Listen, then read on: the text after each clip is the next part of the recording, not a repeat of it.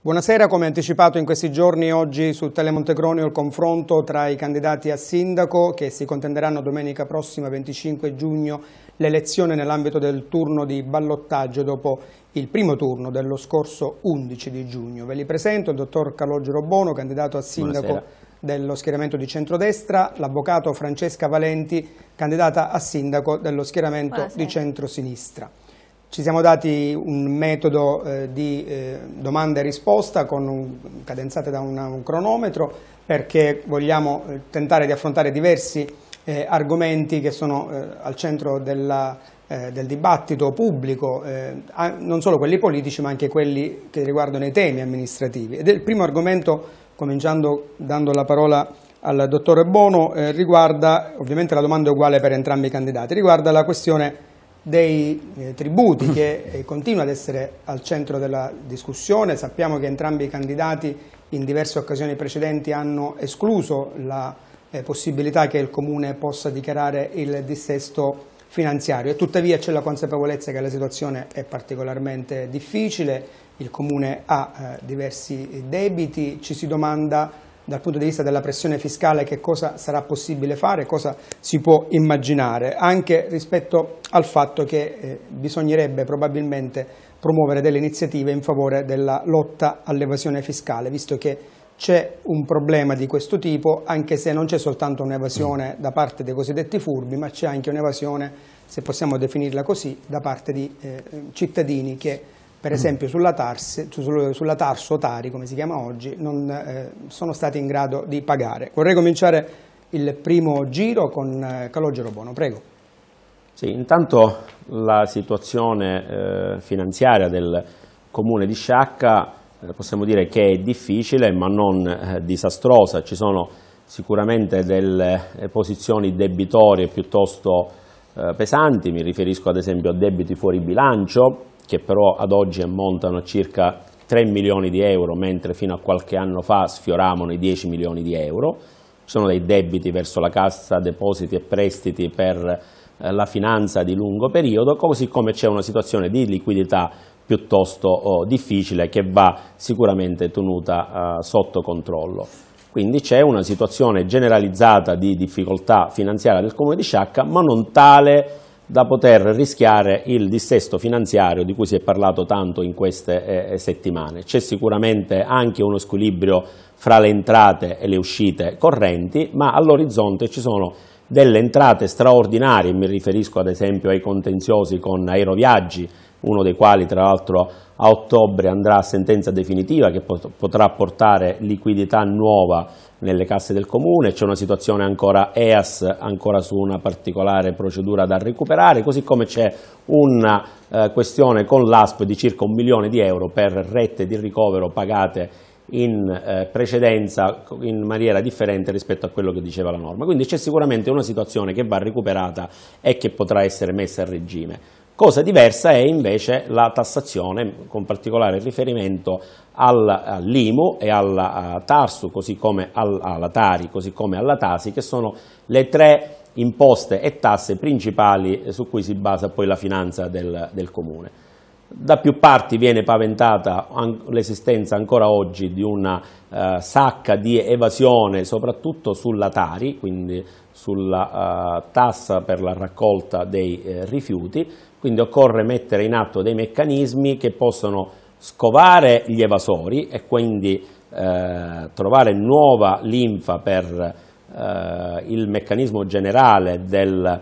che poi copre il, il, servizio di raccolta dei rifiuti, che consentirebbe tra l'altro, trovando nuovi evasori, eh, nuovi soggetti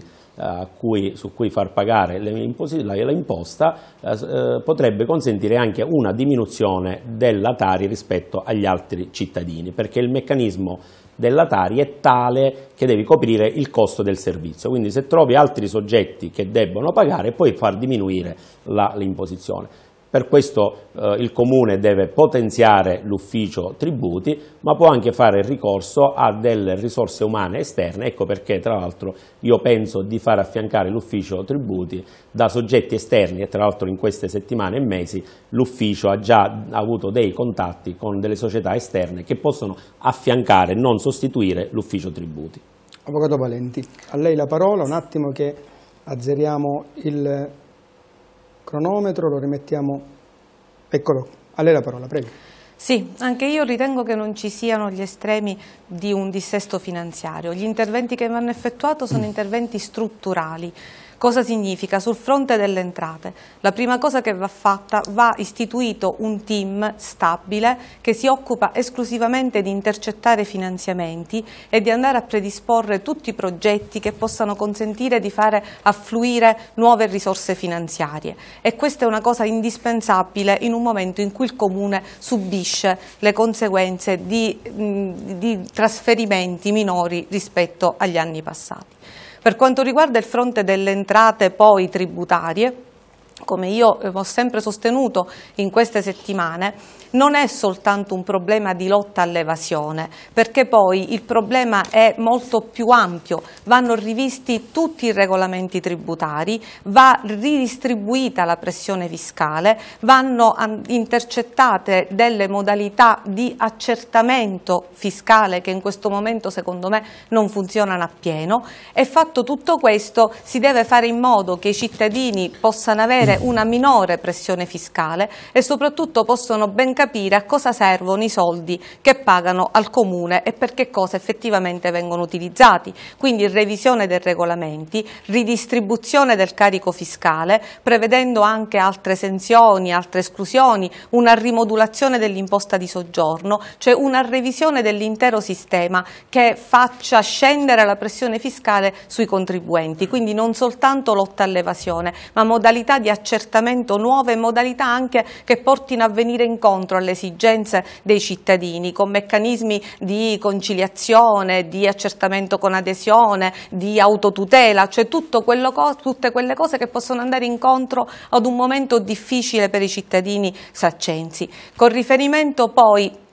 sempre ovviamente a quello che è l'ambito finanziario, ovviamente va rivisto il sistema della spesa perché vanno tagliati i costi sterili, soprattutto va riprogrammata la spesa con un programma vero e proprio in maniera tale che si possa spendere meno e soprattutto si debbano evitare in, assolutamente quelli che possono essere gli sprechi. Quindi una visione molto ampia che parte dall'intercettazione dei finanziamenti, dalla revisione del sistema fiscale e ovviamente dal taglio delle spese e da una migliore progettazione e programmazione di quelli che sono i costi. Peraltro a questo proposito la, la necessità di istituire un piano biennale degli acquisti aiuta perché dà un'idea programmatica che che forse fino a questo momento non è stata attuata. Fatto ciò non credo che ci possa essere il rischio di dissesto finanziario né tantomeno che i cittadini possano subire un prelievo maggiore di quello di ora, anzi io veramente la mia idea è quello di far abbassare la pressione fiscale. Grazie per essere stati nei tempi naturalmente. E continuiamo con il secondo argomento, ripartirò dall'Avvocato Valenti e poi voi naturalmente amministrerete il tempo che avete a disposizione per eventuali eh, riflessioni sugli interventi precedenti. Eh, ne ha fatto cenno Avvocato Valenti, l'utilizzo della tassa di soggiorno. Noi in questo momento identifichiamo questo tributo eh, associandolo al Carnevale in buona sostanza perché il Carnevale di Sciacca che è una festa importante sul piano della tradizione e anche diciamo così, della promozione eh, si finanzia attraverso questo eh, tributo. Eh, ecco, la domanda è questa, eh, posto che evidentemente abbiamo appreso dai vostri interventi precedenti non si può finanziare il carnavale eh, interamente con la tassa di soggiorno, eh, la domanda si, pone, si, compone proprio di due aspetti, come gestire questa tassa di soggiorno e come finanziare il carnavale eventualmente. Certo, l'imposta di soggiorno è un tributo di scopo. In questo momento lo scopo è quello della promozione turistica. Questo significa promozione del turismo a 360 gradi, che non è solo il carnevale. Il carnevale è un capolavoro saccense che va promosso, va valorizzato e tramite un'attività di promozione e valorizzazione vera si può tentare ad avere un sistema di autofinanziamento del carnevale che ovviamente incida meno sulle casse del comune e meno che mai sull'imposta di soggiorno. A questo punto l'imposta di soggiorno va utilizzata, dicevamo, per fini veramente turistici, ma i fini fini turistici sono molto ampi perché ricomprendono il decoro della città, perché ricomprendono il turismo culturale, perché ricomprendono il turismo sportivo, perché ricomprendono il turismo anche religioso, il turismo che nasce come, eh, come, dire, come ritrovamento dei percorsi naturalistici e delle bellezze della nostra città. Tutto questo deve essere promosso tramite l'imposta di soggiorno. Peraltro quando io dico che va rivisto il regolamento dell'imposta di soggiorno significa anche che secondo me può essere ampliato lo scopo di utilizzo dell'imposta di soggiorno, soprattutto con riferimento ad, una, ad un decoro e quindi un'attività di manutenzione a fini turistici della città e poi anche forse con una revisione delle tariffe perché comunque per certi versi forse non sono adeguate a quella che è poi l'offerta turistica saccense. Tutto questo consentirà di avere maggiori risorse, maggiori risorse da utilizzare per la promozione di Sciacca, delle sue eccellenze, non volendo dimenticare le eccellenze anche artigianali, quindi la promozione della ceramica, del corallo, la promozione di tutto quello che può portare a far conoscere Sciacca in Italia, nel mondo e che può consentirci di avere veramente una spinta verso l'alto. E in questo ci aiuta anche il momento perché sono stati stanziati diversi fondi a prescindere dall'imposta di soggiorno che vedono in coincidenza con Palermo capitale della cultura per una promozione del turismo in Sicilia destagionalizzato, addirittura si parla di 300 milioni di euro da destinare al turismo in Sicilia, ovviamente Sciacca deve entrare in questo circuito e deve esserci per poter avere una promozione del territorio che in questo momento è stato assolutamente dimenticato. Allora, rinuncia evidentemente agli altri sì, 25 secondi che rimanevano. Eh, Calogero Bono, utilizzo della tassa di soggiorno e poi come finanziare il carnevale. Sì, intanto eh, parliamo di imposta di eh, soggiorno eh, che è stata istituita eh, qualche anno fa dal Comune di Sciacca, voluta dall'amministrazione di Paola attraverso l'approvazione di un regolamento in eh, Consiglio Comunale. Il regolamento stesso prevede che eh, il gettito dell'imposta di soggiorno venga eh, diciamo, concertato con il Consiglio Comunale, quindi con un apposito tra l'altro eh, commissione che si riunisce fatta da componenti del Consiglio Comunale, da parti sociali che prima del periodo d'imposta eh, offrono all'amministrazione comunale il loro supporto per vedere come il gettito dell'imposta di soggiorno possa essere distribuito nelle diverse attività. Questo è stato fatto nel corso degli anni e l'imposta di soggiorno non va a coprire, non viene utilizzata totalmente, non è stata utilizzata totalmente per finanziare il carnevale, ha avuto già di per sé altri, eh, altri scopi. È chiaro che bisogna fare eh, meglio, è mia intenzione eh, voglio dire, dedicare una parte delle somme eh, dell'imposta di soggiorno per attività culturali, è un mio pallino eh, la cultura, eh, sicuramente per la promozione della città e la promozione delle attività turistiche e per far sì che anche eh, altri turisti possano venire in, nel, a visitare la nostra città. È mia intenzione, ad esempio, intrattenere rapporti con l'aeroporto di Trapani, ci sono state già delle interlocuzioni nel, nel, nei periodi passati, per far sì che sempre più il turismo low cost che eh, va a Trapani, che vola su Trapani, possa poi eh, venire nella nostra città, nelle nostre strutture ricettive. Quindi la promozione della città in, primo, in prima istanza, eh, anche io par vorrei parlare di eh, corallo e ceramica come nostre attività da promozionare e eh, a cui dedicare delle risorse del, dell'imposta di soggiorno. Devo dire tra l'altro che la previsione è che nei prossimi anni il gettito dell'imposta di soggiorno aumenta perché eh, l'apertura sicura del, eh, del, complesso Torre Macauda che è stato chiuso da diversi anni, adesso eh, comprato da soggetti privati e anche con la possibile riapertura del Grand Hotel delle Terme può portare getti, nuovo gettito e quindi sicuramente nuove risorse da destinare alla promozione turistica. Sul Carnevale velocemente, per la verità nel corso degli ultimi anni il, il, la spesa sul Carnevale è notevolmente diminuita attraverso anche la privatizzazione privatizzazione di alcuni servizi eh, relativi al Carnevale, ma io penso di, de, di eh, dare sempre più forza alle associazioni che realizzano il Carnevale, quindi alle associazioni di carristi, perché loro stessi possano creare forme di autofinanziamento. Eh, io ho il mio pallino con le lotterie del, del, carnevale, quindi il carnevale deve costare sempre di meno e il gettito utilizzato dall'imposta di soggiorno deve essere sempre meno rispetto al passato. Cambiamo argomento, ripartirò da Calogero Bono, occupiamoci adesso di rifiuti, pulizia della città e decoro urbano e anche del problema delle vie di accesso alle spiagge più frequentate della città. Partendo dai rifiuti il tema è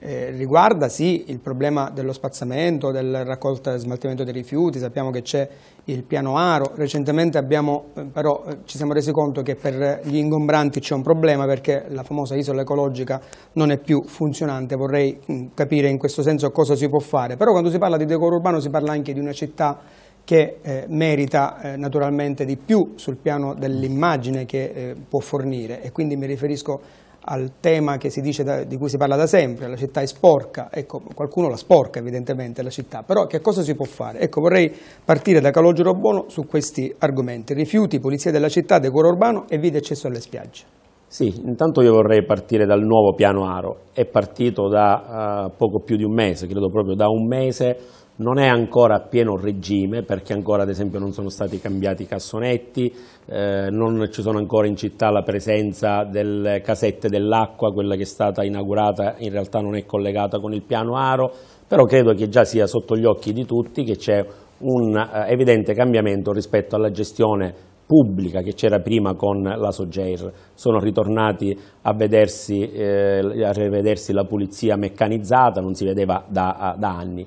Però nonostante ciò la scerbatura che è partita tra l'altro eh, da una decina di giorni in, in, città, nonostante ciò la città ancora non è eh, diciamo così, eh, al suo massimo splendore perché è evidente che ci vuole una massima collaborazione fra cittadini e pubblica amministrazione, ci vuole in materia di pulizia della città una vera e propria rivoluzione. E io eh, colgo occasione per fare un plauso per esempio all'associazione Sciacca Pulita con la quale va fatto un grande lavoro per la prevenzione, quindi non si può pensare che qui ci sono 40.000 cittadini che sporcano me compreso, e poi ci deve essere la pubblica amministrazione che pulisce. Quindi bisogna invertire i ruoli, bisogna lavorare molto sulla prevenzione, andare nelle scuole, andare negli uffici pubblici, parlare con le persone, con le attività commerciali ad esempio del centro storico, fare un, un grande lavoro di, di, di prevenzione e se del caso puoi passare anche alla repressione perché evidentemente se ci sono angoli della città dove vengono buttate in sporcizia e ancora oggi succede questo bisogna fare poi la repressione. Mia idea ad esempio è quella di utilizzare le eh, telecamere che girano per, eh, per la città e anche per le vie del centro storico. Per quanto riguarda il decoro io ho un mio pallino ad esempio per il verde nel, nel, nel, centro storico, quindi ci sono alcune zone che possono essere riqualificate utilizzando, attenzione ad esempio c'è un bando aperto in questo momento dall'assessorato alla famiglia che scade a fine agosto dove eh, i, i comuni che hanno fra 30 e 50 mila abitanti in Sicilia possono accedere a forme di finanziamento a tasso, anzi a totale fondo perduto per riqualificazione e per piccoli interventi, anche se prevede il bando anche altre misure. Quindi sicuramente bisogna rendere il centro storico, le vie di accesso al al, alla città, quindi il lato est ed ovest hanno bisogno di un maggiore decoro per rendere la città più accogliente dalle persone che vengono dal, eh, dall'esterno. Vie eh, di accesso alle spiagge, si è fatto già qualche cosa in passato, bisogna fare più, soprattutto per i disabili ad esempio, eh, ci sono alcune spiagge che già sono dotate di vie di accesso per i disabili, altre ancora no e ci sono anche altre spiagge che hanno difficoltà di accesso e bisogna in tal senso eh, operare con qualche intervento. Avvocato Valenti, prego, rifiuti, pulizia della sì. città, decoro urbano, via di accesso alle spiagge. Sì, che la città sia pulita a me non risulta. In questi giorni io sono in giro per la città centro storico, quartieri e in realtà non mi sembra affatto pulita, basti considerare lo stesso, la stessa area portuale per dire che se questo è il piano aro siamo rovinati, nel senso che bisognerà agire immediatamente per far sì che l'adempimento del contratto venga fatto in maniera diversa da quella che stiamo vedendo in questi giorni. Poi valutando tra l'altro quelle che sono le eventuali spese che piano aro, spese aggiuntive che sembrerebbe il piano aro in qualche modo far, a cui il piano aro rimanda in qualche modo. Con riguardo al decoro, anche lì il decoro è un concetto molto ampio perché ovviamente si fonda sulla pulizia della città, pulizia della città, tutta la città, quindi recupero e riqualificazione del centro storico, pulizia di tutti i quartieri, di tutte le contrade, di tutte le zone balneari. E in tutto questo il decoro entra pieno perché sì, dobbiamo riqualificare il centro storico, le vie di accesso alla città e per far questo possiamo utilizzare l'imposta di soggiorno, peraltro l'utilizzo dell'imposta di soggiorno ha visto una commissione di cui faceva parte il dottore Bono come Presidente del Consiglio e per esempio l'utilizzo dell'imposta di soggiorno ai fini culturali è stato veramente esiguo perché se non ricordo male se ne sono stati utilizzati solo 4.000 euro rispetto al gettito dell'imposta di soggiorno. Deve essere rivisto tutto quanto perché il decoro è anche sicurezza urbana e allora un sistema di videosorveglianza, di videosorveglianza che consenta sia il ripristino e il rispetto delle regole, ma soprattutto che consenta sicurezza ai cittadini. Tutto questo viene fatto con finanziamenti adatti, perché poi peraltro ci sono dei finanziamenti proprio in materia di sicurezza urbana e quindi di videosorveglianza, tutto questo viene fatto comunque anche tramite l'imposta di soggiorno perché ha una refluenza immediata per quello che riguarda il turismo e ovviamente questo riguarda anche le spiagge, che ci siano spiagge facilmente fruibili da persone diversamente abili a me non risulta, forse la spiaggia di Contrada Foggia ma anche lì con delle difficoltà enormi,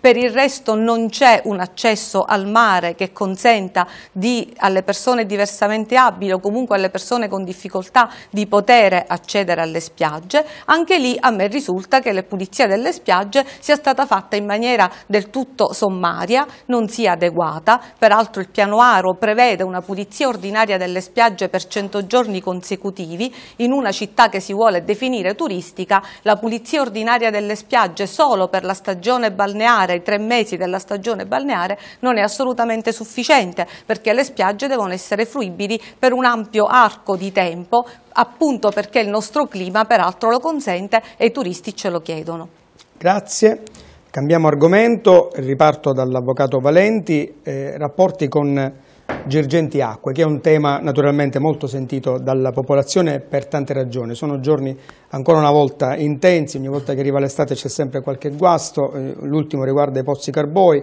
ma c'è anche questa questione del mm, progetto per dotare la Foggia San Marco di una rete fognante che per questioni burocratiche lo Stato prima ha dato il ruolo di commissario all'assessore regionale all'energia, poi ha deciso di tornare ad avvocare a sé questo ruolo, fatto sta che ci sono 6 milioni di euro che si potrebbero spendere e ancora non si riesce a spenderli. Questa è naturalmente la parte dell'attualità. In generale, rapporti con Girgenti Acque, il Comune che cosa può fare di meglio?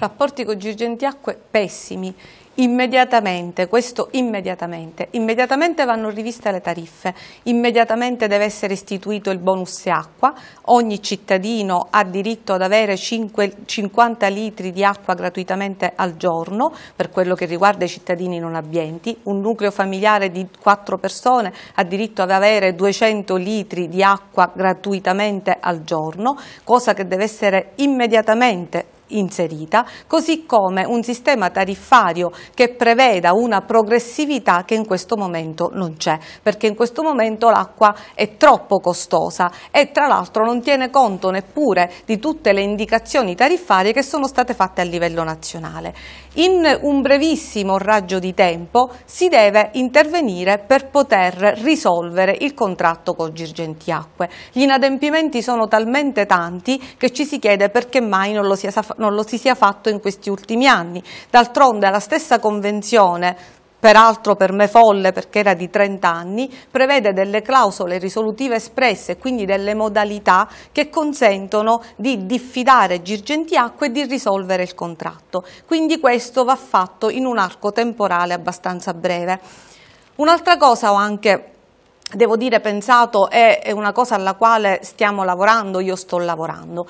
Ehm, il servizio idrico tramite l'ambito di servizio idrico ha delle eccezioni, nel senso che in realtà i comuni, alcuni comuni potrebbero gestire l'acqua come acqua pubblica in autonomia a determinate condizioni. Tra queste condizioni vi è quello di essere un comune con meno di mille abitanti, ovviamente questo non ci riguarda, ma un altro invece presupposto per poter pensare di uscire completamente da quella che è l'ambito territoriale e quindi da Girgenti Acque è il fatto che sul nostro territorio ci sono delle fonti di acqua minerale significativamente pregiate e quindi in un'area paesaggistica che potrebbe e che si deve studiare e predisporre potrebbe portarci anche ad immaginare un percorso diverso che ci vede a riappropriarci dell'acqua veramente pubblica ed a utilizzare le nostre fonti con un costo sui cittadini che diventerebbe veramente irrisorio o comunque sicuramente di molto più basso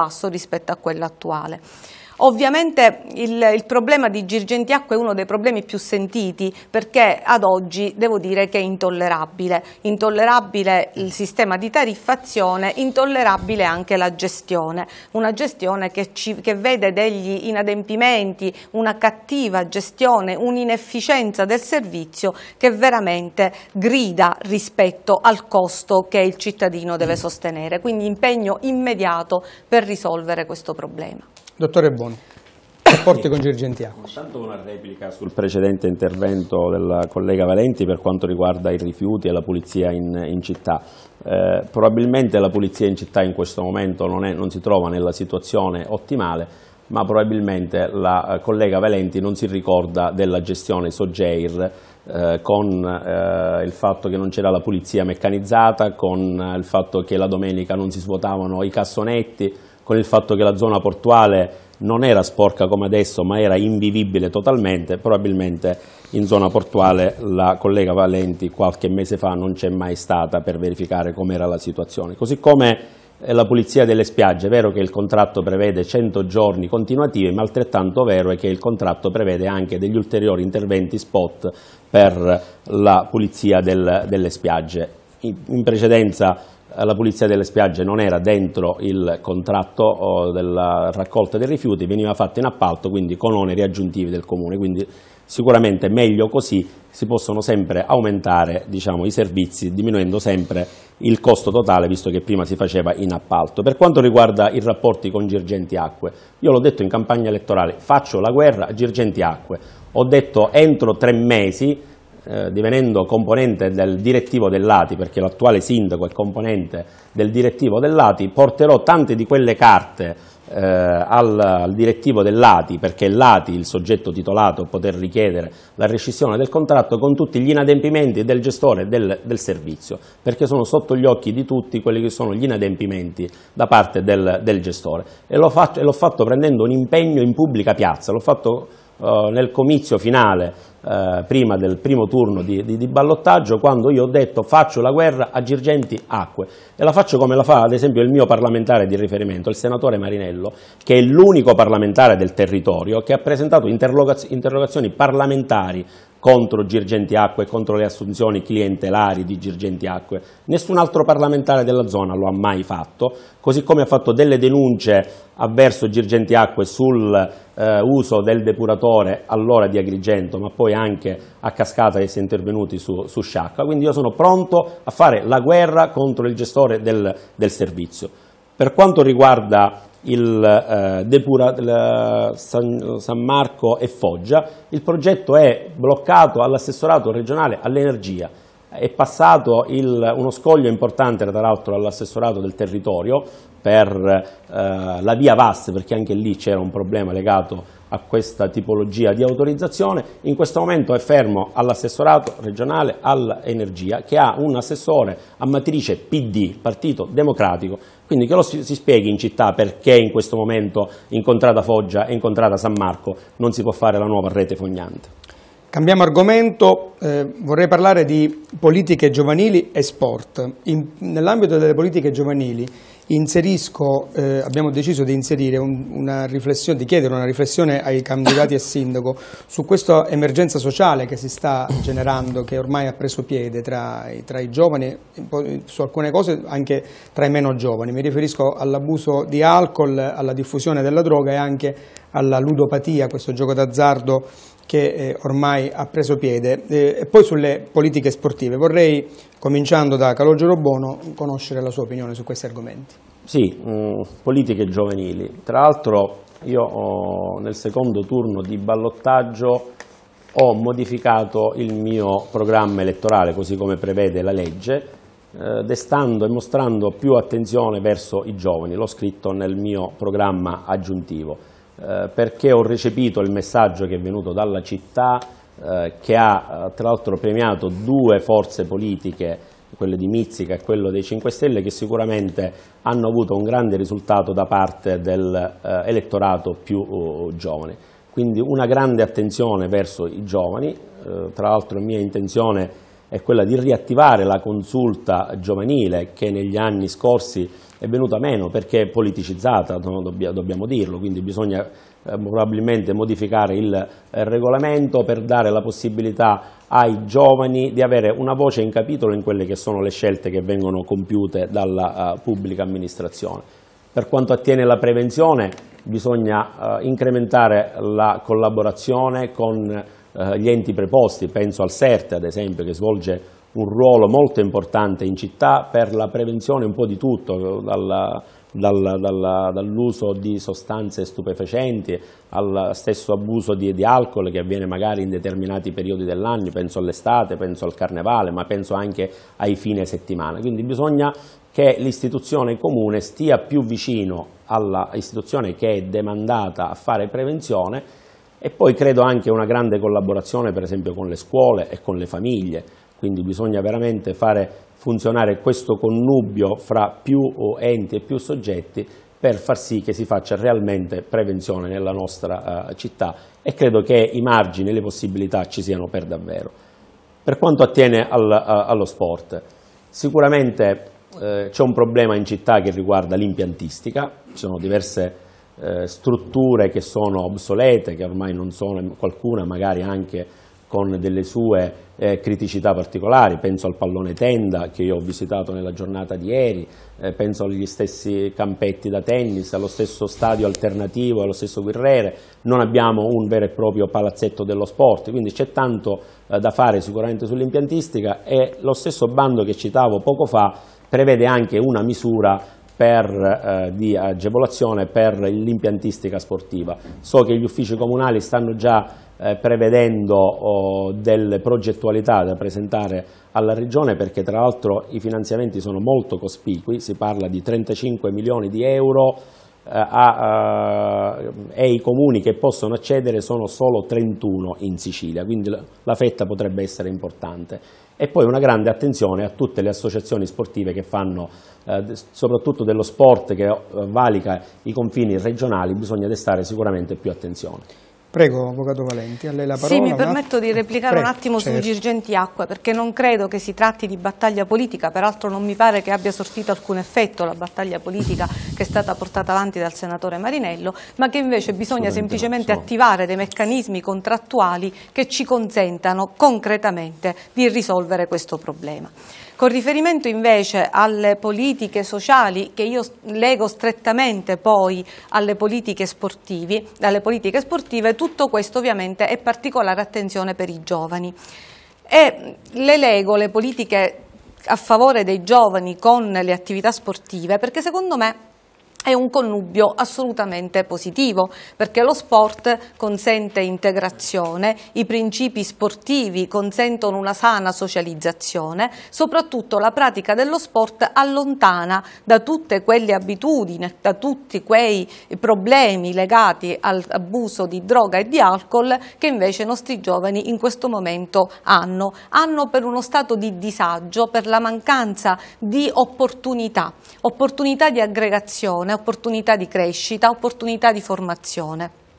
Opportunità di aggregazione tramite le associazioni o comunque facendo riferimento proprio ai giovani si devono creare delle possibilità di aggregazione. Io per esempio ho appreso che al Museo del Carnevale c'è una sala di incisione e allora perché mai questa sala di incisione non deve essere messa a disposizione dei giovani che vogliono fare le prove o comunque dei giovani musicisti e dei giovani artisti saccensi? Perché mai non si debbono creare dei centri di aggregazione anche alle all'ex istituto d'arte che possano consentire attività formative, laboratori creativi, attività di socializzazione, perché mai non si deve pensare ad una scuola dello sport che metta insieme tutte le associazioni sportive e che vada a veicolare il messaggio sportivo come messaggio di crescita per le nuove generazioni. E poi con riguardo alla prevenzione dei fenomeni legati all'abuso di droga e di alcol, ovviamente questo passa, oltre che a opportunità nuove fornite ai giovani anche un'attività di formazione preventiva, un'attività di formazione preventiva che può essere fatta praticamente a costo zero, con convenzioni con l'università che è ben disponibile a fare queste attività sul territorio di formazione e di prevenzione, con le scuole, con le associazioni, con il CERT, con gli operatori, con le famiglie, un'attività che può essere fatta, ripeto, a costo zero e che ci può consentire una formazione, perché poi molte volte i giovani non sono informati neanche delle conseguenze deleterie che può portare l'abuso di alcol e di droga. E quindi un'attività di formazione e soprattutto un'alternativa ai giovani che possono essere interessati da cose molto più importanti per la loro crescita sono secondo me due cose che camminano assolutamente a braccetto. E in lo sport ha la sua importanza. Grazie. Prossimo argomento riguarda la progettazione eventuale di nuove opere pubbliche e poi capire che fine ha fatto, che fine potrà fare il piano regolatore generale che eh, Sciacca aspetta da molto tempo. Eh, la parola all'Avvocato Valenti, prego. Sì, anche lì io non ho parlato degli impianti sportivi, impianti sportivi che in realtà trovano tantissimi meccanismi di finanziamento, sia per il recupero degli impianti sportivi esistenti, sia per la creazione di un palazzetto dello sport, non soltanto tramite finanziamenti dedicati a cui faceva riferimento il dottor Obono, ma anche tramite finanziamenti attraverso l'Istituto di Credito Sportivo, attraverso il CONI, addirittura vi sono delle cose che arrivano dall'Unione Europea attraverso il CONI per finanziare l'impiantistica sportiva. Ovviamente con riguardo al piano regolatore generale, le lungaggini del piano regolatore generale devono essere in qualche modo attenzionate, su quello non c'è dubbio. Io so che c'è stato anche un problema legato all'amministrazione uscente che ha ritardato alcuni passaggi per, per, dei motivi che secondo me non sono del tutto validi perché si faceva riferimento alla mancanza di fondi ma per fare delle fotocopie quindi non credo che fossero delle cose significative. Il piano regolatore generale deve essere approvato, deve essere seguito immediatamente perché poi con tutte le valutazioni ovviamente ci deve portare a sviluppare svincolare questo problema enorme. Con riferimento alle opere pubbliche il nuovo codice degli appalti ci viene in soccorso perché abbiamo un piano triennale di opere pubbliche che consente anche un piano annuale con una possibilità che è introdotta a decorrere dal 20 maggio scorso, quindi con una novità veramente attuale, che dice che tutte le opere pubbliche incomplete entro un anno devono essere riqualificate, non ci possono essere opere incompiute perché per ogni opera pubblica va fatta anche una possibile alternativa, proprio per evitare uno spreco di fondi che possa lasciare soltanto incompiute senza la realizzazione di opere concrete. Quindi bisogna attuare il nuovo codice degli appalti, bisogna garantire soprattutto una nuova gestione di tutto quello che ruota attorno all'edilizia, attorno all'urbanistica, che sia anche lì un volano economico, perché in un momento di grave difficoltà lavorativa tutto questo deve diventare anche un modo per trovare lavoro e quindi per consentire a giovani e meno giovani di avere una prospettiva lavorativa concreta. E proprio a questo proposito, peraltro, io penso che un meccanismo di tutela della manodopera saccense in materia di opere debba essere assicurato finanziato dal Comune. Ovvio, oltre a questo poi c'è tutto un problema di incentivo, di revisione del sistema, del, del regolamenti, del cottimo, dei lavori in economia, cioè tutto quello che ruota in questo settore va attenzionato, va modificato e va implementato. La parola adesso al dottore Bono sullo stesso argomento, progettazione di nuove opere pubbliche e piano regolatore generale. Una brevissima controreplica su quello che diceva l'Avvocato Valenti sul fatto che le denunce e le interrogazioni parlamentari del senatore Marinello non hanno portato a niente, evidentemente non conosce le cose della nostra provincia. L'interrogazione a cui faccio riferimento è del 2013, è stata aperta un'inchiesta giudiziaria su Girgenti Acque, su assunzioni clientelarie e falsi in bilancio che ha portato anche, credo anche a dei provvedimenti di un certo tipo. Per quanto riguarda anche la questione del depuratore di San Leone, anche lì l'apertura di un'inchiesta presso la procura di Agrigento, quindi credo che le azioni del senatore Marinello abbiano raggiunto i propri eh, effetti. Per quanto riguarda la progettazione di nuove opere eh, pubbliche, eh, c'è la programmazione comunitaria con i fondi gestiti dalla regione siciliana ormai alle porte con bandi che sono aperti e con altri che saranno fatti, quindi occorre fare sicuramente tanta progettazione per farsi trovare pronte quando i bandi verranno emessi dalla regione siciliana. E io ne ho già in mente alcuni eh, il, il, primo che mi, mi, viene in mente è la strada di collegamento da via Ovidio a Corso Miraglia, la famosa Reggia Trezzera che potrebbe consentire veramente un, uno sfogo, una valvola di sfogo al traffico che dalla Perriera arriva in centro storico, opere di riqualificazione in centro storico, da Santa Caterina c'è un, un progetto, di massima che va completato, ma la stessa Porta Palermo con opere di riqualificazione dell'area fuori Porta Palermo, Un'altra progettualità a cui penso è il banchinamento della parte finale del molo interno di Levante, quello che per intenderci va dalla eh, Madonnina eh, installata in porto verso l'esterno, la parte interna. Grande attività va fatta su San Marco e su San Giorgio. Su San Giorgio ci sono i fondi che vengono dalla eh, regione siciliana a seguito dell'alluvione quindi si sta lavorando a una progettazione che possa consentire eh, una migliore viabilità di quella zona sfruttando i fondi che arrivano dalla regione siciliana a seguito dell'alluvione, mentre su San Marco c'è una progettualità di massima che va definita in progettazione esecutiva per accedere ai finanziamenti. Vorrei parlare anche della banchina San Pietro che è una progettazione che va completata da parte del genio civile delle opere marittime di eh, Palermo perché tra l'altro è ammessa a finanziamento. Quindi una grande idea di eh, elaborazione di proposte progettuali, tra l'altro io ho nominato in giunta un architetto che è esperto in materia. Sul PRG mi dispiace contraddire l'avvocato Valenti, in questo momento il PRG è fermo all'assessorato territorio ambiente perché manca il via libera alla via VAS, quindi questo è in questo, in questo momento quello che impedisce l'approvazione definitiva del piano regolatore generale, poi dovrà andare al Consiglio regionale dell'urbanistica, quindi non c'è stato nella maniera più assoluta inadempimento da parte della precedente amministrazione e pregherei di raccontare le cose per come stanno e non dire cose che non corrispondono a verità. Allora, cambiamo argomento, ripartendo da Calogero Bono perché i rapporti con la regione siciliana sono sicuramente importanti perché ci sono molti, diver molti diversi aspetti della vita pubblica che, eh, su cui sovrintende la regione. Mi riferisco alle terme, alla sanità, eh, alla vicenda che riguarda anche il vecchio ospedale che come abbiamo avuto modo anche altre volte di dire credo che sia il peggiore dei biglietti da visita possibili, considerato che siamo proprio all'ingresso della uh, città di Sciacca. Vorrei capire su questo l'opinione di Calogero Bono, Terme e Sanità e poi naturalmente sarà la volta della sua avversaria. è innegabile che la regione siciliana nella sua attività è un vero e proprio disastro e il comune di Sciacca e penso anche gli altri enti territoriali lo scoprono di volta in volta, hanno a che fare con la regione siciliana.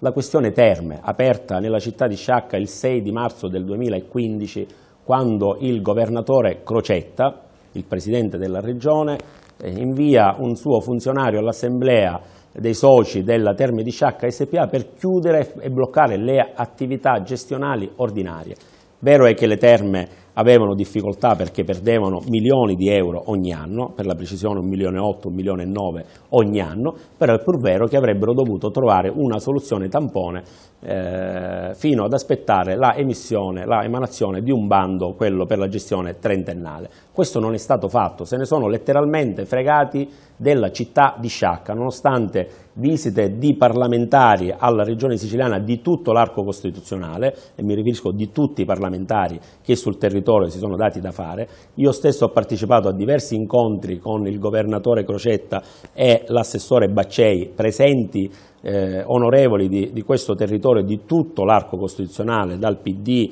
ai 5 Stelle al, anche alla stessa alternativa popolare che erano presenti, se ne sono fregati letteralmente, hanno tirato dritto per la loro strada lasciandoci chiuse le, le terme, salvo poi scoprire proprio in campagna elettorale la dichiarazione, eh, la procedura di liquidazione sta per terminare di qua a qualche settimana, io oh, aspetterò, aspetterei queste settimane per capire se realmente poi daranno le terme in uso al comune di Sciacca per fare il bando, perché la legge dice che l'assessore regionale può dare il complesso termale in concessione al comune di Sciacca per fare poi il relativo bando. Quindi Regione Siciliana un disastro sulla gestione della questione terme. Per quanto riguarda l'ospedale eh, mi viene da dire per fortuna che il livello è stato anche superiore perché il piano eh, sanitario, il piano della rete ospedaliera del, eh, della Regione Siciliana veniva sì elaborato dall'assessorato regionale alla sanità ma mandato al eh, Ministero competente per la sua valutazione complessiva per poi essere approvato definitivamente dall'assessorato regionale alla sanità. E se mi consentite, proprio nelle settimane in cui eh, si stava eh, approntando il piano sanitario, a Sciacca è, è, venuto il Ministro della Salute di Alternativa Popolare, il Ministro Beatrice Lorenzini, che ha preso dei precisi impegni con il territorio, valutando oggettivamente il piano sanitario oh, regionale. Per fortuna poi la Regione si è decisa a salvare l'ospedale di Sciacca come ospedale DEA SPOC di primo livello, è chiaro che l'ospedale ha anche altre criticità. Per quanto riguarda il vecchio ospedale, la Regione lo vuole vendere per 8 milioni di euro. Se troviamo qualcuno che se lo compra, probabilmente risolveremmo il problema.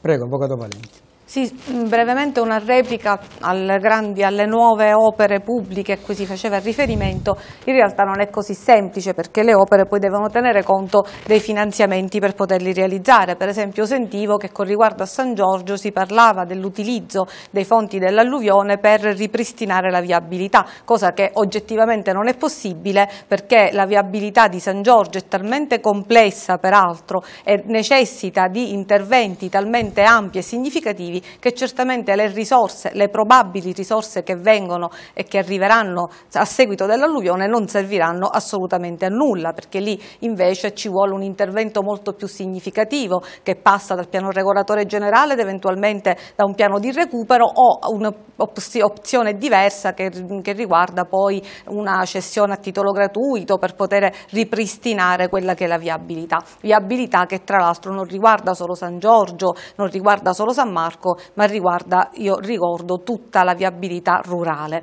Con riferimento alle terme invece le terme verranno assolutamente riportate al comune di Sciacca. Io ho incontrato, perché è venuto il ministro De Vincenti, a quale è stato rappresentato il problema terme, io ho parlato con l'assessore Baccei, io mi sono messa in contatto con Federterme, che fa parte di Confindustria e di Federturismo e che è associata alla Federazione Mondiale del Termalismo e del Climatismo. E quindi io ho avuto certezze sul fatto che tutto il patrimonio del complesso termale verrà concesso al comune di Sciacca nel giro di qualche settimana e che poi il comune di Sciacca non sarà neppure lasciato solo, nel senso che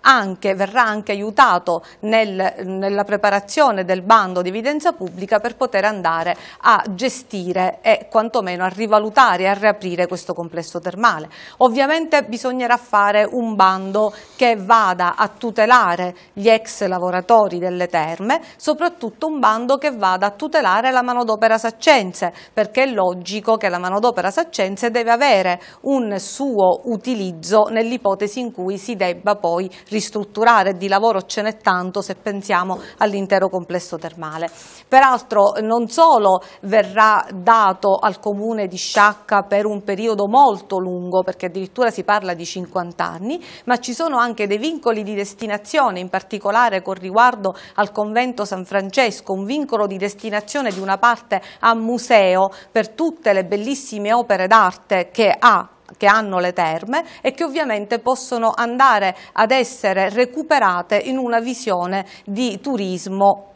che certamente per noi serve. Con riferimento al vecchio ospedale, comunque anche su questo io credo che si debba lavorare sul vecchio ospedale ma anche sul, eh, sul Santa Margherita per poter trovare un, una convenzione, un meccanismo che porti all'utilizzo da parte del Comune senza l'esborso delle cifre a cui faceva riferimento il dottore Bono. Se c'è qualcos'altro che vuole aggiungere magari lo farà sì, lo nello spazio successivo in cui adesso le chiedo eh, di parlare di questo tema che riguarda le politiche sociali ma anche il lavoro, che riguarda le attività produttive e poi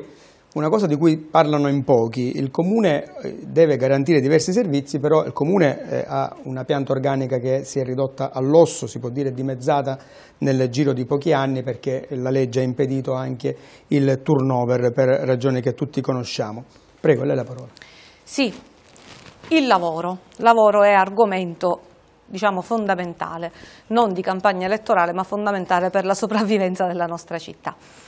Cosa, può fare, cosa può fare il Comune per il lavoro? Alcune cose si sono già dette, no? tutelare la manodopera saccense nell'ipotesi in cui venga predisposto il bando per le terme, tutelare la manodopera saccense per le opere che comunque verranno iniziate, assicurare, io ho parlato di una revisione o di una corretta applicazione del regolamento in materia di lavori in economia e cottimo fiduciario, perché si deve assicurare un'effettiva turnazione che mi pare negli ultimi anni non ci sia stata, nel senso che tutti devono avere le stesse opportunità lavorative e quindi si deve assicurare per tutti la possibilità di roteare in quelli che sono gli interventi che il Comune può gestire in economia, quindi per i lavori fino a 40.000 euro e col cottimo fiduciario che sono i lavori addirittura fino a 200.000 euro. Si prevede che vengano invitate 5 ditte, non si prevede nel regolamento che ci debba essere una tornazione tra le ditte che devono essere invitate. Si deve sostenere sostenere il lavoro tramite lo sportello di microcredito che possa andare a formare,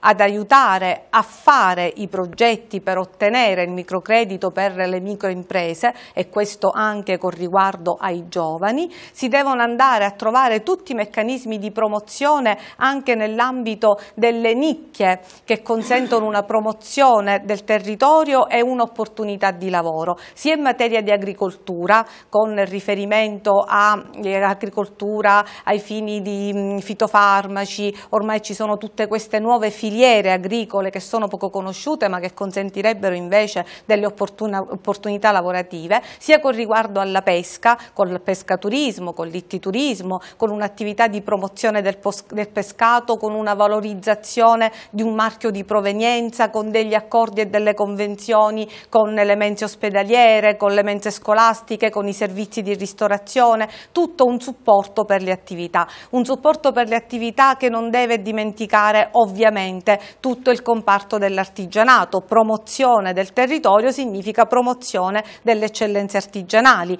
con eventi, con manifestazioni che comunque creino lavoro e che comunque promuovano artigianato, corallo, ma io penso anche alle industrie ittico-conserviere, al prodotto degli ittico-conservieri. E poi comunque tutta un'attività che vada a sostegno dell'artigianato artigianato, io ho inserito nel mio programma delle modalità nuove di fare artigianato, delle modalità che passano dalla condivisione di spazi, cioè spazi condivisi che possano permettere di abbattere i costi, di utilizzare delle strutture e che quindi poi addirittura incidono positivamente anche ai fini fiscali. Dottore Bono. Sì, tanto gli argomenti sono tre, politiche sociali, lavoro e la questione che riguarda il, eh, il Comune. Per quanto attiene le politiche sociali, eh, è sotto gli occhi di tutti che viviamo momenti particolarmente eh, difficili da un punto di vista economico e quindi sociale e il Comune deve svolgere un ruolo eh, sotto questo punto di vista centrale. Tra l'altro eh, sia la Regione che il Governo centrale aiutano tantissimo gli enti locali con eh, una finanza che poi possa essere utilizzata a favore delle persone che ne hanno più di bisogno. Attualmente ad esempio c'è un progetto, il SIA, un uh, servizio di inclusione sociale, il Comune di Sciacca è destinatario di un finanziamento di 1.600.000 euro attraverso il quale eh, le famiglie fanno una sorta di assistenza loro stessi ai soggetti che ne hanno di bisogno, parlo di soggetti svantaggiati, ma anche di soggetti che non hanno un, eh, un lavoro. Quindi una grande attività da parte tra l'altro dell'ufficio del comune delle politiche sociali che si regge su poche eh, persone e che eh, tra l'altro, collegandomi al terzo argomento, necessita sicuramente di un eh, rafforzamento perché molto spesso gli uffici non riescono ad andare avanti, ad andare appresso alla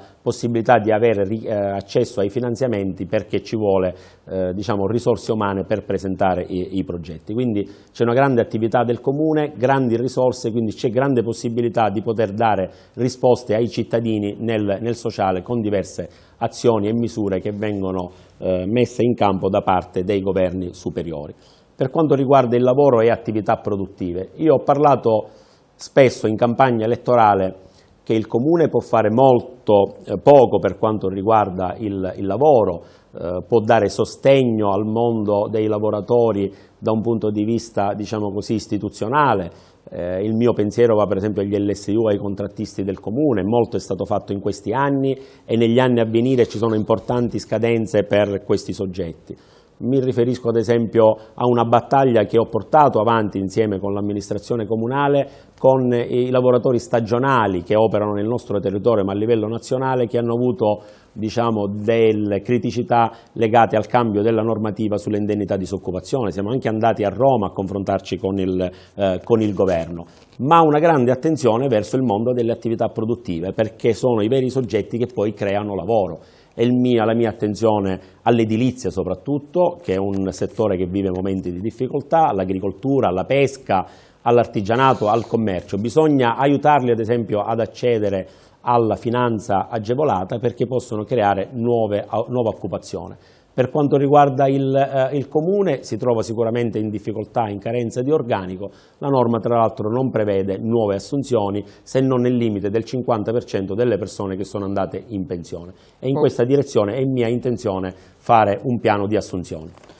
Eh, ci faccio uno sconto di 5 secondi nella prossima bene, risposta. Edilizia scolastica, eh, che è un tema molto importante per tante ragioni, insomma, i nostri figli frequentano le scuole, ci sono state delle emergenze recentemente, che una riguarda la scuola elementare il Plesso San Francesco del quarto circolo, ovvero Istituto eh, Dante Alighieri come si chiama adesso, ospite ancora nella chiesa dei Cappuccini e bisogna ringraziare naturalmente frati eh, che hanno dato ospitalità, però non si capisce fino a quando questo sarà possibile. E poi la vicenda che riguarda anche l'ex asilo nido di Via del Sole che ha avuto un utilizzo di scuola materna per, del primo circolo e che adesso è chiuso da, da anni e non si capisce quando potrà essere riqualificato. La parola sì. al dottore Bono su questi argomenti. Ma intanto... E no, naturalmente non solo, anche altri, altre scuole. Sull'edilizia scolastica credo che negli ultimi anni si sia fatto tanto perché ci sono stati tantissimi bandi sia da parte del governo centrale che della regione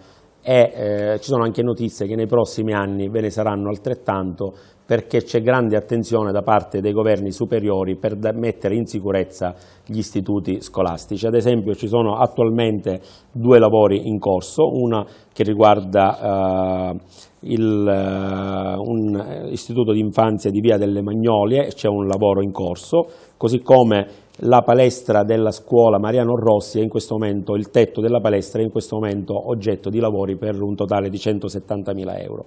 Per quanto riguarda il plesso San Francesco ne conosciamo la storia, cosa è accaduto tanti anni fa, poi c'è stato l'intervento dei padri cappuccini che si sono messi a disposizione, è chiaro che bisogna trovare un eh, locale nella immediata vicinanza di via Cappuccini perché il plesso San Francesco copre la parte ovest della città eh, e quindi tutte diciamo, le famiglie si rivolgono a questo plesso perché evidentemente possono accompagnare i propri figli eh, nelle immediate vicinanze. Quindi occorre immediatamente fare un bando perché i padri cappuccini ogni anno creano dei problemi, la scuola probabilmente ha anche delle sue criticità, eh, che le, le, conosciamo tutte, cosa è accaduto, eh, questi, sappiamo tutti cosa è accaduto quest'inverno, quindi occorre trovare un nuovo locale da approntare immediatamente per eh, far sì che le famiglie che si trovano in questa parte di città possano trovare la loro collocazione eh, scolastica. Per quanto riguarda l'asilo nido di Via del Sole, in questo momento il Comune ha presentato un progetto presso l'assessorato regionale competente alla famiglia con un bando emesso credo 7-8 mesi fa, siamo in graduatoria e sembrerebbe che siamo collocati in una posizione utile, quindi di qua a qualche settimana ci potrebbe anche essere la notizia positiva del finanziamento di ristrutturazione dell'ex eh, asilo nido di Via del Sole e chiudere una questione che è eh, probabilmente decennale, io adesso non ricordo con esattezza quando la scuola è stata chiusa, ma probabilmente saranno una, una decina d'anni o, o, o, poco o giù di lì. Eh, altre due cose voglio dire sul, eh, sulla situazione scolastica. Il eh, prioritario è sicuramente l'intervento della scuola materna d'infanzia di fronte all'ex caserma dei carabinieri, chiusa qualche tempo fa per un problema al tetto, così come io penso anche a una a scuola eh, incontrata a Ferraro perché ormai si è diciamo, espansa in maniera tale che da lì ci potrebbe essere la necessità di una scuola dell'infanzia. Prego. Sì. Scuola. Prendo proprio qualche secondo con riferimento alla domanda che abbiamo fatto prima, cioè con riferimento alla pianta organica del comune e quindi al problema diciamo, dell'amministrazione sì. comunale.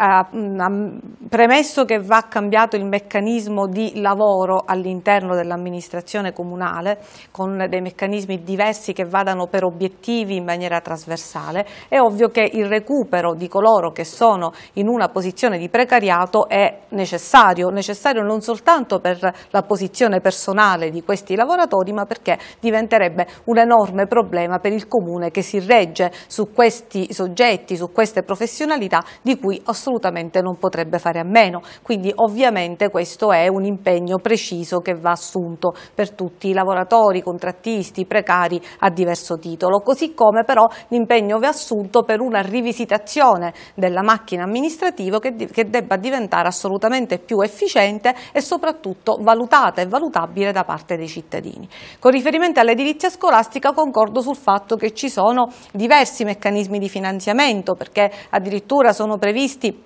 dal governo nazionale 700 milioni di euro, 300 milioni di euro per l'edilizia scolastica, quindi sicuramente le possibilità di accedere a dei finanziamenti in realtà c'erano anche nei mesi scorsi, ci saranno in questi mesi, nei mesi futuri. E il fatto che si debba istituire un team di persone competenti ad intercettare i finanziamenti serve ovviamente anche per questo fine. Non è soltanto un problema però solo di edilizia scolastica, è un problema che è più ampio e che riguarda la scuola, la scuola è stata completamente dimenticata, la scuola non ha fondi di funzionamento, la scuola si porta avanti solo grazie al contributo delle famiglie che si autotassano per dare il minimo indispensabile ai propri figli per poter svolgere un'attività didattica idonea e soprattutto per poter vivere idoneamente all'interno delle scuole. Tutto questo non è più tollerabile perché un'amministrazione che dimentica la scuola è un'amministrazione che dimentica che la scuola è proprio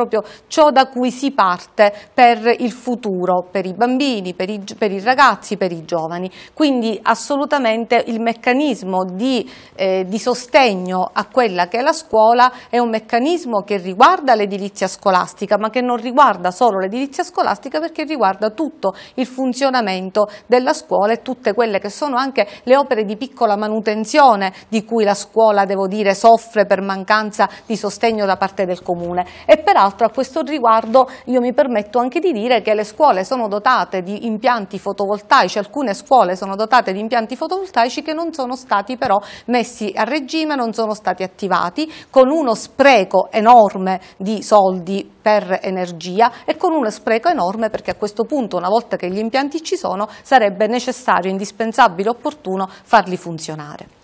Allora, siamo in conclusione e in conclusione, ripartendo dall'Avvocato Valenti, aveva cominciato Bono, con, conclude Valenti, eh, diciamo nel senso la, la, inizia la risposta alla Valenti, eh, vorrei chiedere una, un appello finale al voto e ovviamente un giudizio politico sull'avversario, perché lo chiediamo? Perché è chiaro che nell'appello al voto bisogna spiegare perché uno chiede il voto per sé e quindi eh, certo. non per l'avversario. Prego, Avvocato Valenti. Un appello al voto, io devo dire che mi appello a tutte le persone che ritengono che in questo momento non si stia bene nella nostra città e dico nella nostra città perché ancora qualcuno ritiene e sostiene che io non sia e che non appartenga a questa città, invece io ci vivo, a parte esserci nata, a parte avere fatto i miei studi a Sciacca, ci vivo da vent'anni, a Sciacca ho la mia famiglia, vedo crescere i miei figli, a Sciacca lavoro, quindi io mi considero saccense a tutti gli effetti. Per amore di questa questa città io mi sono messa a disposizione, il mio fine è solo ed esclusivamente il bene di questa città, io credo che non sia possibile continuare così come si è fatto negli ultimi anni, io dico no ad altri cinque anni così e per questo io mi appello a tutti e a tutti quelli che hanno anche espresso un voto di protesta, perché il voto di protesta significa disagio, sicuramente significa non condivisione dell'operato della vecchia amministrazione. Eh, l'altra componente politica che si propone io la vedo del tutto continuativa rispetto all'amministrazione uscente, non vedo nessuna soluzione di continuità e per questo credo che i cittadini dovrebbero invece provare a cambiare perché è necessario cambiare, è necessario modificare la logica. Io ho detto anche che bisogna cambiare la logica amministrativa. Io penso e sto lavorando a mettere assieme, vicini agli assessori, quelli che io chiamo i consulenti della città. Si deve trovare un meccanismo di collaborazione tra cittadini, tra amministrati e amministrazione che non sia soltanto sporadico tramite quelli che possono essere le interlocuzioni sporadiche, ma che sia invece stabile civile con de delle persone che gratuitamente lavorano insieme al sindaco, insieme agli assessori, con delle professionalità, con delle persone di esperienza che mettano a servizio la loro professionalità e la loro esperienza per poter agire dal punto di vista amministrativo. Quindi una nuova logica di amministrazione, un avvicinamento tra i cittadini e l'amministrazione che per me è assolutamente insostituibile come visione di città, una sciacca che ritrovi quella centralità che io ritengo invece non abbia, perché io non penso che siamo in una situazione positiva che possa essere colta positivamente, tutt'altro, tant'è vero che io ho scelto di mettermi a disposizione e di scendere in campo proprio nella logica no ad altri cinque anni così. E sotto questo punto di vista credo che rispetto al nostro progetto di governo, al nostro progetto amministrativo non ci sia un'alternativa perché l'alternativa che ci propone l'altra componente è sicuramente un'alternativa di assoluta continuità rispetto all'amministrazione amministrazione uscente. Prego, dottore Bono. Sì, l'appello finale mio è rivolto a, a tutti gli elettori, eh, a tutti i cittadini di questa città. Io ho detto subito dopo il primo turno delle elezioni che il risultato che si è manifestato eh, è eh, diciamo, tale da dover parlare alla città in un modo diverso rispetto a come avevamo fatto in precedenza c'è stato un risultato oh, nel, dove il 40% dei cittadini hanno scelto due forze politiche che intendevano protestare con le loro proposte e quindi ne abbiamo preso atto. Io ho modificato il mio programma elettorale rivolgendomi eh, al mondo dell'associazionismo, ai comitati di quartiere, alla società civile, voglio parlare alla gente, ho girato in lungo e in largo la città in queste settimane e lo sto rifacendo ancora oggi, dai quartieri di San Michele, dalla Marina alla Porta Vagno, al centro storico, a Porta Palermo, alle periferie. Io ho incontrato i cittadini della mia città, ho parlato con loro a lungo, ho spiegato le ragioni della mia e della nostra eh, eh proposta politica, guardandoli in faccia e parlando di quello che vogliamo fare se dovessimo guidare la città. Ho tra l'altro, recependo il messaggio elettorale del primo turno, fatto una squadra di tecnici. Io ho tre tecnici su cinque nella mia squadra, gente che viene dal mondo delle professioni, dalla società civile e dal mondo delle professioni, 4 su 5 della mia squadra assessoriale sono persone che non hanno mai fatto politica o non hanno fatto politica negli ultimi 15-20 anni, la mia è una squadra nuova, non è una squadra in continuità, nonostante l'avvocato Valenti voglia ribadire questo concetto e lo fa più volte. Io sono stato presidente del Consiglio Comunale negli ultimi 5 anni, ho guidato il massimo consesso di questa città facendolo credo con grande dignità e con grande rispetto del mio ruolo istituzionale e non ho mai fatto amministrazione in questa città. Quindi io mi presento come leader di una squadra nuova di cui quattro dei cinque consiglieri comunali sono nuovi. Riguardo invece all'altra squadra, mi dispiace dire che guarda caso quattro su cinque componenti della squadra assessoriale del candidato sindaco Valenti, guarda caso sono gli stessi sostenitori politici dell'amministrazione di Vito Bono. E allora bisogna dire le cose come stanno per nome e cognome. Allora se l'avvocato Valenti insiste nel dire che io non so, sono la continuità dell'amministrazione di Paola, credo di poter dire parlando con i fatti, che il candidato sindaco Valenti ha la stessa compagine assessoriale della, eh, del sindaco Vito Bono, che guarda caso fu mandato a casa proprio dalla sua stessa parte politica. Il tempo è scaduto, io vi ringrazio, ringrazio Calogero Bono, Grazie. ringrazio l'avvocato Francesca Valenti, ringrazio voi che ci avete seguito, e naturalmente saranno giorni intensi, si concluderà la campagna elettorale venerdì, alle 21.30 comizierà il dottor Calogero Bono in piazza Angelo Scandaliato, alle 22.30 il comizio di chiusura dell'avvocato Francesca Valenti. Grazie a tutti, arrivederci. Grazie a voi.